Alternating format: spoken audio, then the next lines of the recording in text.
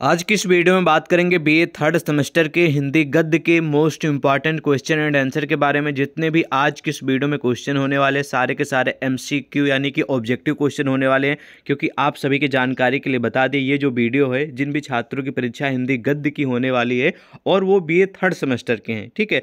और चाहे उनका सब्जेक्ट मेजर हो या फिर माइनर हो, दोनों छात्रों के लिए महत्वपूर्ण। यदि मान लीजिए आपका हिंदी गद्य जो है मेजर है और आपकी परीक्षा ऑब्जेक्टिव होने वाली यानी कि एमसीक्यू तब भी आप लोगों के लिए महत्वपूर्ण ये वीडियो है। यदि मान लीजिए आपका सब्जेक्ट हिंदी गद्य है और आपका माइनर पेपर है हिंदी गद्य में, ठीक है माइनर का है, ठीक है तो तभी, तब भी आपके लिए वीडियो महत्वपूर्ण है, ठीक है। तो कुल मिला वीडियो को एंड तक देखना है माइनर मेजर दोनों के लिए महत्वपूर्ण है, ठीक है। चलिए, आते हैं मेन क्वेश्चन पे और सभी यूनिवर्सिटी के छात्रों के लिए महत्वपूर्ण है, ठीक है? क्योंकि भाई हिंदी तो हिंदी होता है, ठीक है? तो चलिए, शुरू करते हैं।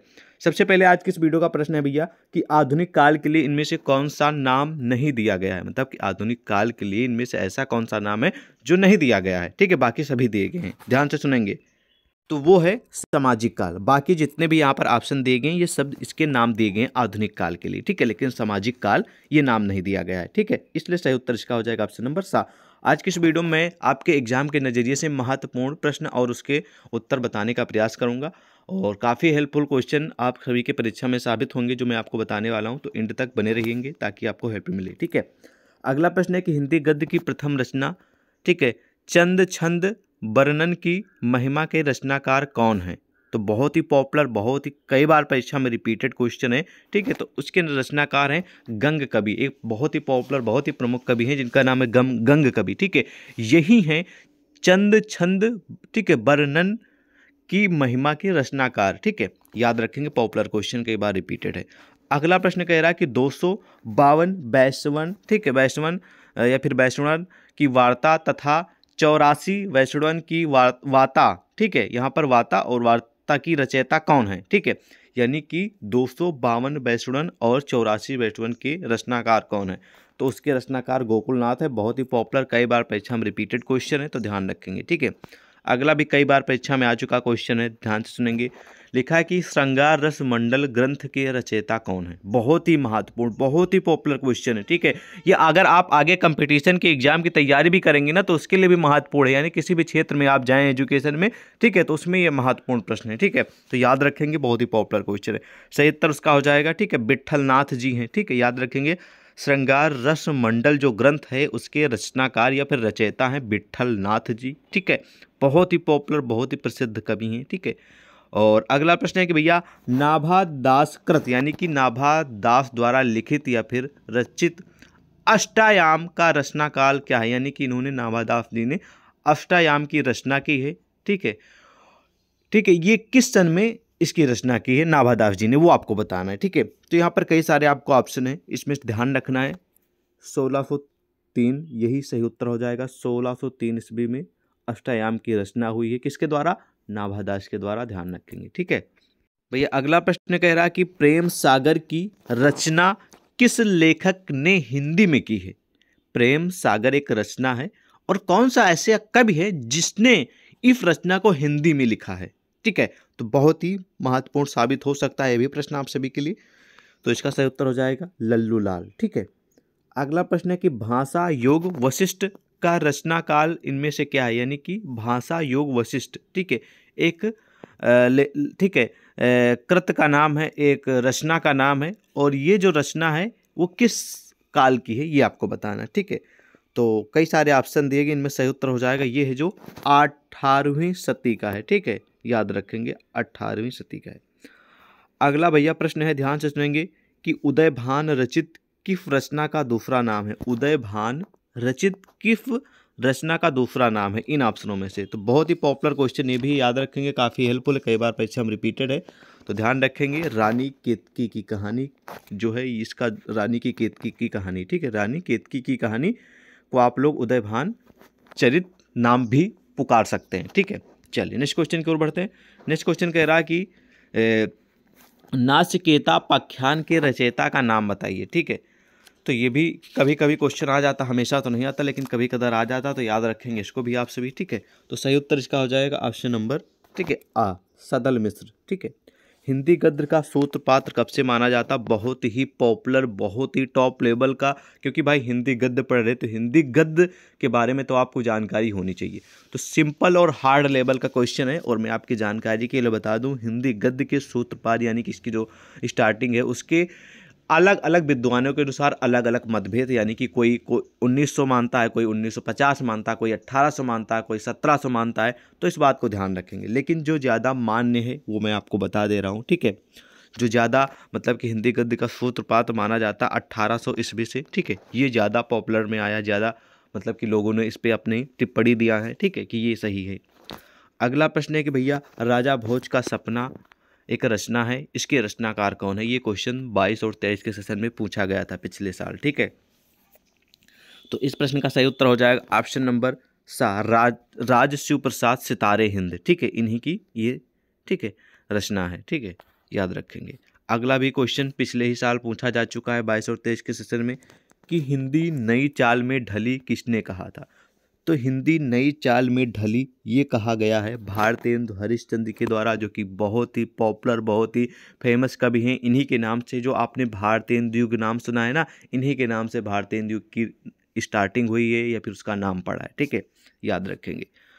अगला प्रश्न है भैया कि भाषा योग वशिष्ठ रचना किसकी है? एक रचना है जो कि, जिसका नाम है भाषा योग वशिष्ठ, जो कि ये प्रश्न 2023 बाईस और तेईस के सेशन में, यानी कि पिछले साल पूछा जा चुका है, ठीक है?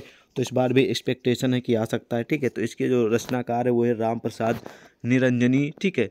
जी, बहुत ही पॉपुलर क्वेश्चन ये भी है ठीक है? अगला बहुत ही महत्वपूर्ण, बहुत ही गारंटी वाला क्वेश्चन है। आपको जर्नली वैसे भी आपको जानना ही चाहिए कि हंड्रेड परसेंट वाला क्वेश्चन भैया ये, कि आधुनिक हिंदी गद्य का प्रवर्तक किसे माना जाता है? बहुत ही, कई बार परीक्षा में रिपीटेड हमेशा आने वाला क्वेश्चन जर्नली कॉमन सिंपल ठीक है? तो ये प्रश्न का उत्तर आपको जानना वैसे भी ज़रूरी, आप सभी काफ़ी छात्रों को मालूम भी होगा इसके बारे में कि आधुनिक हिंदी गद्य के प्रवर्तक का नाम है भारतेंदु हरिश्चंद्र जी को माना जाता है, ठीक है? और कुछ विद्वान और कुछ कवि हैं वो कुछ अन्य लोगों को भी मानते हैं, इस बात को ध्यान रखेंगे, लेकिन ज़्यादा जो पुष्टि हुई है, ज़्यादा लोगों ने जिसको कहा वो है भारतीय हरिश्चंद्र ठीक है? अगला प्रश्न है कि हमारे मत में हिंदी और उर्दू दो बोली न्यारी प्या, ठीक है, न्यारी न्यारी हैं। उक्त तो कथन किसका है? किसी ने ये बात कही कि हमारे मत में हिंदी और उर्दू दो बोली न्यारी न्यारी हैं। ये 2022 और तेईस में पूछा गया प्रश्न है, ये जो कहा गया है पंक्ति या फिर ये जो कथन है, ये किसके द्वारा भैया कहा गया है? तो ये कहा गया है, याद रखेंगे, राजा लक्ष्मण सिंह के द्वारा, बहुत ही महत्वपूर्ण प्रश्न है, बी नंबर यानी कि बा नंबर सही उत्तर होगा। अगला प्रश्न है कि भैया, जॉन, ठीक है, गिल क्राइस्ट हिंदी भाषा के लिए किस लिप के पक्षपति, ठीक है, पक्षपति थे?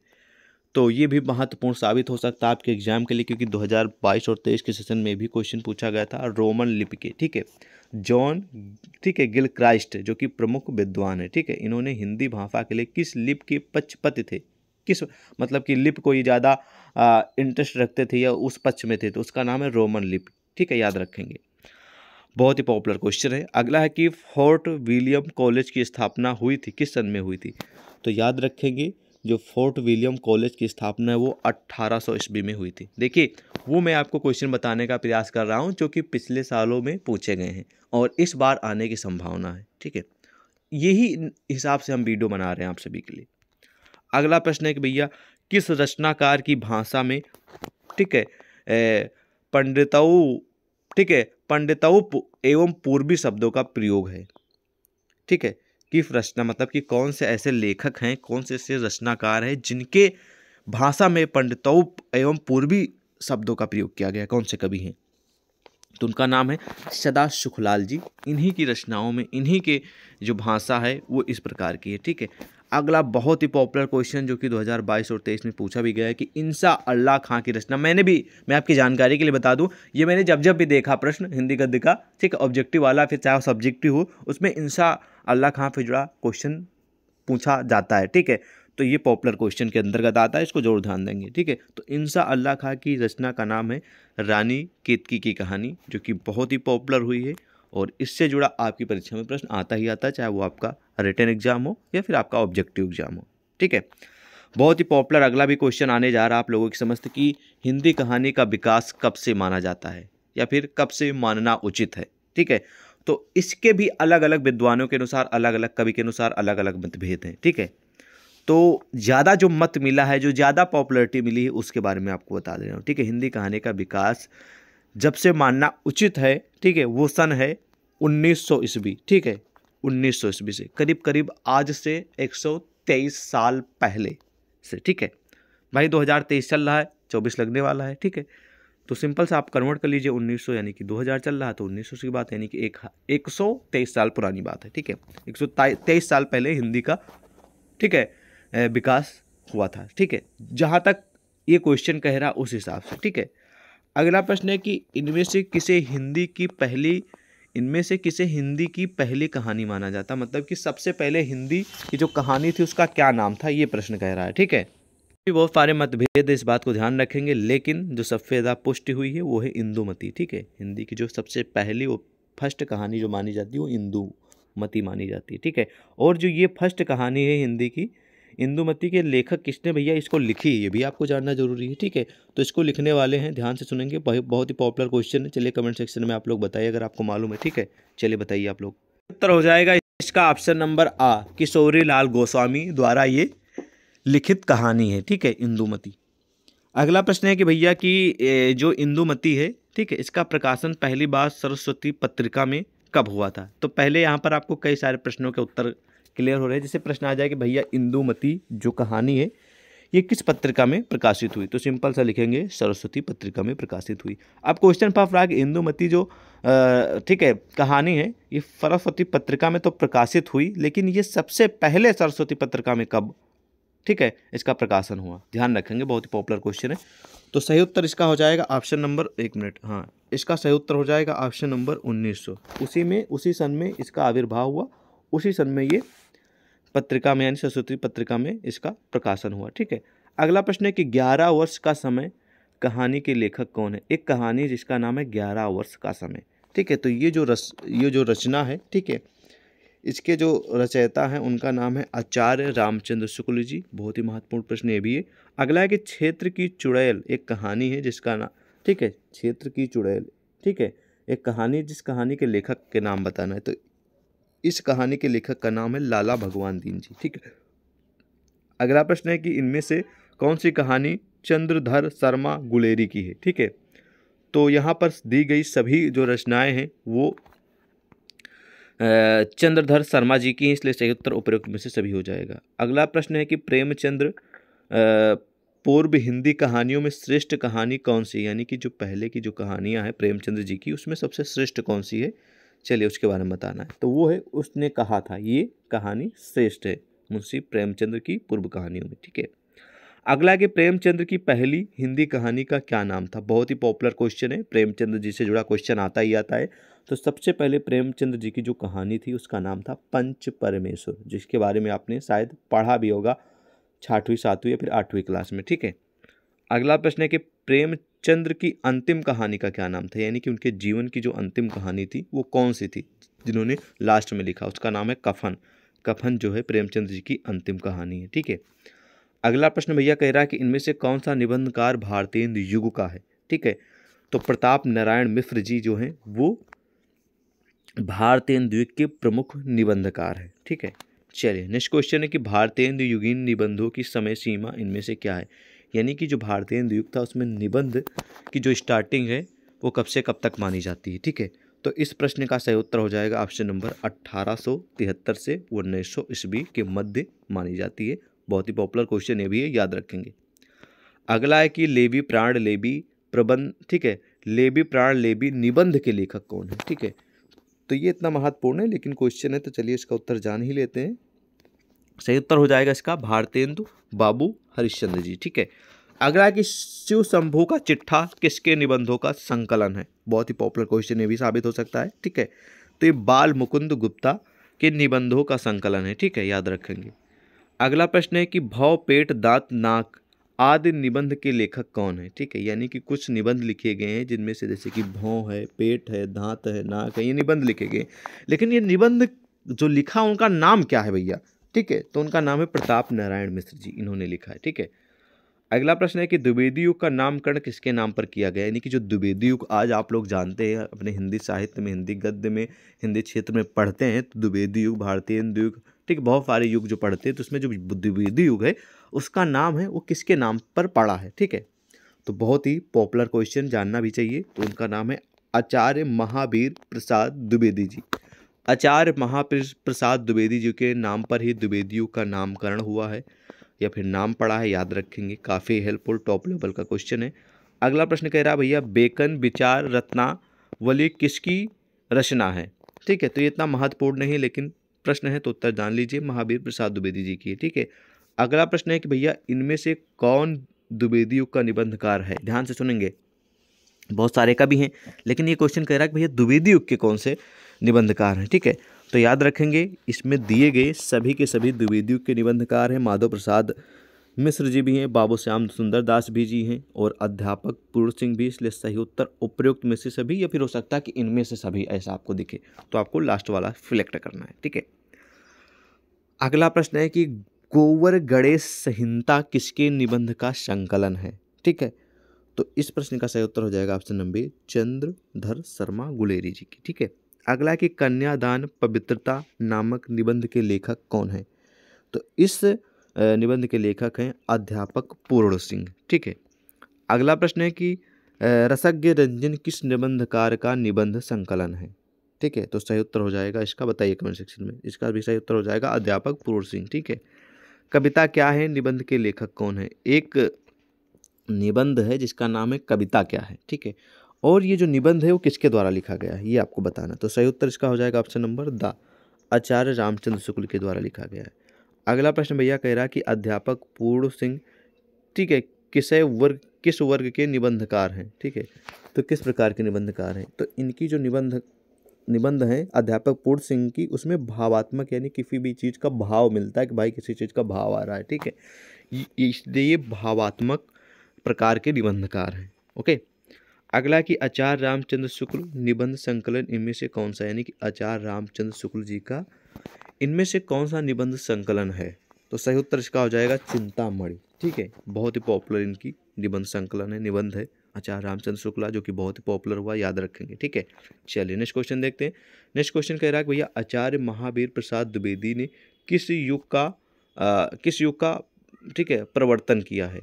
बहुत ही पॉपुलर क्वेश्चन जानने की कोशिश करेंगे आप सभी। ठीक है, और हम आपको बता रहे हैं सही उत्तर इसका। मैंने इसके बारे में बताया, आप लोग जान भी गए होंगे, सही उत्तर हो जाएगा द्विवेदी युग, ठीक है? भैया, द्विवेदी युग के प्रवर्तक ही महावीर प्रसाद द्विवेदी जी हैं, ठीक है? सरस्वती पत्रिका का द्विवेदी जी ने संपादन भार ठीक है, सरस्वती पत्रिका जो है, ठीक है, पत्रिका का द्विवेदी जी ने संपादन भार का कब संभाला, ये क्वेश्चन कह रहा है कि, ठीक है? तो उन्होंने जो संभाला, वो सन था 1903 का, ठीक है? 1903 वो में इन्होंने जो सरस्वती पत्रिका इसका संपादन, ठीक है, संभाला है, ठीक है। अगला प्रश्न कह रहा है कि द्विवेदी युग कब से कब तक है? बहुत ही पॉपुलर क्वेश्चन उस, वैसे भी आपको जानना भी चाहिए। द्विवेदी युग की जो समय सीमा है, ठीक है, वो अलग अलग विद्वानों के अनुसार अलग अलग कवि के अनुसार अलग अलग हो सकती है, लेकिन जो ज़्यादा पुष्टि है, वो 1900 से 1920 तक रहा है, ठीक है, द्विवेदी युग, ठीक है। अगला प्रश्न भैया कह रहा है कि माधव प्रसाद मिश्र व अध्यापक पूर्ण सिंह किस युग के निबंधकार हैं? बहुत ही सिंपल सा प्रश्न है, सही उत्तर हो जाएगा द्विवेदी युग के हैं, ठीक है? द्विवेदी युग के निबंधकार हैं, इनमें से कौन से हैं, ठीक है? तो द्विवेदी युग के जो निबंधकार हैं, उनका नाम है चंद्रधर शर्मा गुलेरी जी, ठीक है? अगला है कि रसज्ञ रंजन किसका निबंध संग्रह है? तो रसज्ञ रंजन जो निबंधकार संग्रह है, वो है आचार्य महाप्रसाद द्विवेदी जी का, ठीक है? अगला प्रश्न है कि महाकवि माघ का प्रभात वर्णन किसका निबंध है? ठीक है तो ये जो निबंध है वो आचार्य महाप्रसाद, आचार्य महावीर प्रसाद द्विवेदी जी का ही सही उत्तर आ हो जाएगा, याद रखें, कई बार प्रश्न आ चुका है ये वाला, ठीक है।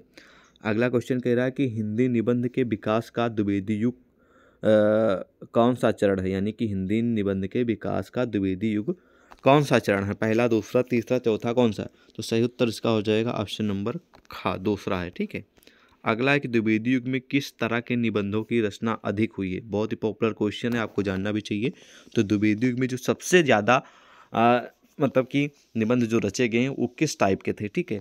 तो उसमें जो था, वो विचार प्रधान था, ठीक है? तो खा नंबर सही उत्तर हो जाएगा इन ऑप्शनों में से। अगला है कि द्विवेदी जी ने कभी कर्तव्य निबंध को कितने भागों में विभक्त किया है, फिर डिवाइड किया है, ठीक है? सही उत्तर हो जाएगा चार भागों में, फिर चार ठीक है? मतलब कि चार पार्ट में डिवाइड किया है। अगला है कि कवि, कर्तव्य, निबंध के पहले भाग का क्या शीर्षक है, ठीक है? तो चलिए कमेंट सेक्शन में आप सभी को उत्तर मालूम हो तो ज़रूर बताइए करिए, ठीक है? तो सही उत्तर हो जाएगा छंद, यानी कि का नंबर। अगला है कि जिन पंक्तियों में वर्णों या मात्राओं की संख्या नियमित होती है, वो क्या कहलाती है, ठीक है? तो वो कहलाती है छंद। याद रखेंगे, बहुत ही पॉपुलर क्वेश्चन है। अगला है कि जो कुछ छंदों में कहा जाता है, वह क्या कहलाता है? तो जो कुछ भी छंदों में कहा जाता है, वो पद्य कहलाता है। ठीक है?